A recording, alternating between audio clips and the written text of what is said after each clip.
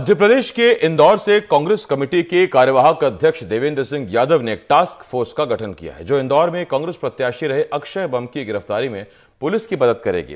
ये टीम जहाँ भी सार्वजनिक स्थानों पर अक्षय को देखेगी, पुलिस को सूचना देकर उन्हें गिरफ़्तार करने की मांग करेगी। देवेंद्र सिंह यादव ने कहा कि वो चाहते हैं कि 307 के आरोपी अक्षय बम, जिनके खिलाफ न्यायालय से भी गिरफ्तारी वारंट जारी हो चुका है, उन्हें गिरफ़्तार किया जाए। दूसरी तरफ़, उन्होंने अक्षय कांति बम को मिल रही सुरक्षा पर भी सवाल उठाए। आपको बता दें, अक्षय एवं इंदौर से कांग्रेस उम्मीदवार थे, लेकिन नामांकन वापस लेने के बाद बीजेपी में शामिल हो गए थे।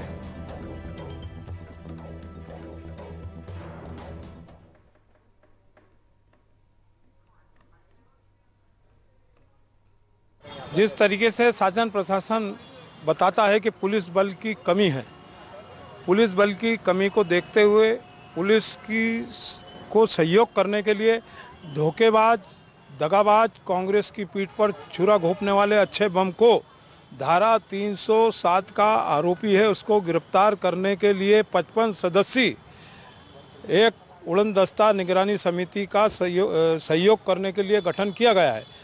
जहाँ भी गुप्तचर, गुप्त रूप से हमारे लोग जो है उसकी निगरानी करेंगे और तत्काल संबंधित थाना संबंधित पुलिस अधिकारी कंट्रोल रूम को तत्काल सूचना देंगे कि तत्काल उसको गिरफ़्तार किया जाए। जब कोर्ट का आदेश हुआ है, कोर्ट के आदेश की अवहेलना नहीं होना चाहिए। कोर्ट के आदेश को माना जाना चाहिए।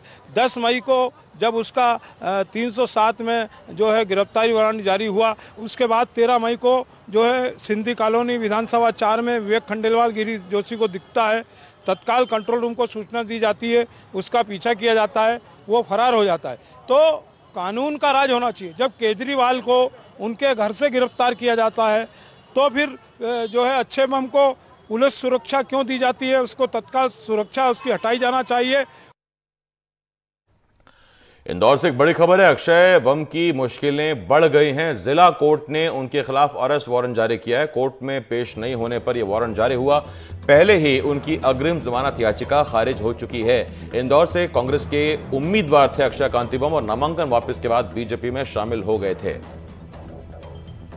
तो एक के बाद एक अक्षय कांति बम की मुश्किलें बढ़ रही हैं, उन्हें झटके लग रहे हैं और अब खबर यह है कि जिला कोर्ट ने उनके खिलाफ पुलिस अरंट अरेस्ट वारंट जारी किया है।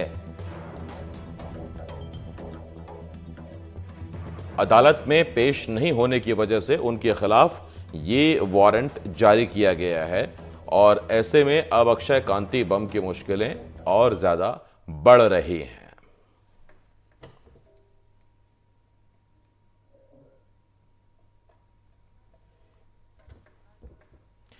समीर खान मेरे सहयोगी इस वक्त इस बड़ी खबर पर हमारे साथ जुड़ रहे हैं। समीर अग्रिम जमानत याचिका पहले ही खारिज हुई और अब जिला कोर्ट ने वारंट भी जारी कर दिया। जी हाँ, बिल्कुल जिस तरह से हम ये कहें कि एलईटीवी ने आपको याद होगा जैसे ही जिला कोर्ट से जो है इनका गिरफ्तारी वारंट जारी हुआ था उसके बाद अक्षय बम का जो घर है वहाँ पर हमने रियलिटी चेक किया था तो वहाँ पर पुलिस सुरक्षा लगी हुई थी और जब हमने पुलिस कर्मियों से बात की थी तो उन्होंने बताया भी था कि उन्हें अभी गिरफ्तारी वारंट की कोई खबर नहीं है।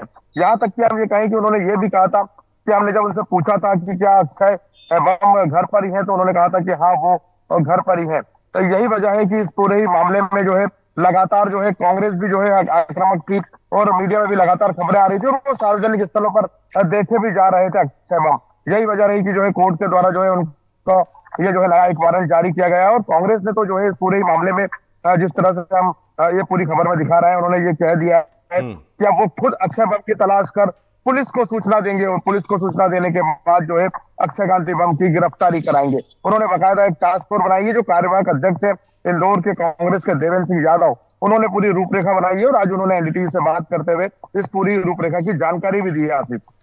जी। आ, एक चीज़ और कांग्रेस में कोई कोई कमेटी बनाई गई है ऐसे या हर कार्यकर्ता को आ, काम दे दिया गया है कि जहाँ अक्षय कांति बम मिले उनकी खबर तुरंत पुलिस को दी जाए? जी हाँ बिल्कुल। जिस तरह से हम ये कहें कि इंदौर में जिस तरह से कांग्रेस का टिकट पहले लिया और जो कांग्रेस के वरिष्ठ नेता है या देवेंद्र सिंह यादव